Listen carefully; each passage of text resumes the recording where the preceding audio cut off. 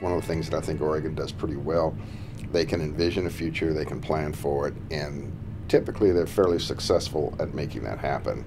I think where we are not doing as well as we could is again that equity thing, making sure that those benefits and that that, vi- and, uh, that vision encompasses everyone in the state. I worry uh, that uh, sometimes the um, privilege of being a citizen of this region is becoming accessible or attainable to fewer Oregonians rather than most Oregonians.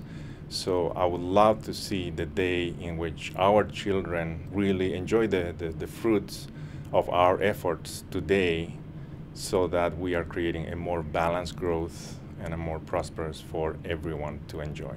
Providing opportunities for uh, people to uh, contribute, to be part of the larger economy is critical. Without the ability to develop assets, it's really hard to have that sense of where you're where you're going to be. So the individual development account that the state of Oregon has, I think is probably the most significant economic development opportunity we provide for lower income people in the state. Access to affordable home ownership and what difference it makes for families, whether it's stable home ownership or a stable, affordable rental.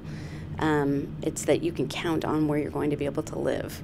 And being able to do that means you're going to be able to keep your kids in the same school.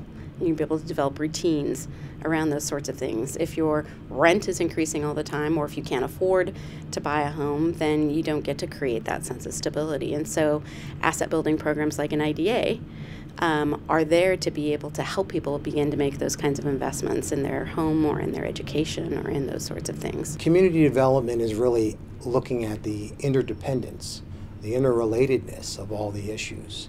I mean, when people have housing without jobs or opportunity, uh, it's just housing. What we want to do is have people and communities be able to succeed and to thrive. Sometimes people define that as